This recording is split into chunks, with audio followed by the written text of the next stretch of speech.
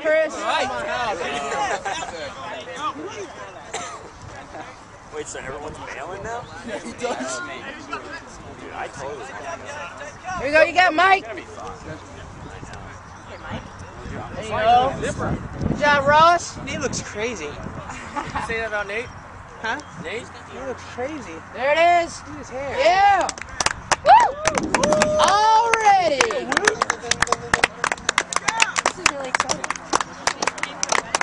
That's what I'm talking about. We just call it now. and We can all go get something to eat. What happened to your team, Carlos? Oh, what happened to yours? What sport? What sport do you play? I'm not trying to be messing with him. That is hilarious. Where did he get that? His All right, let's go, boys.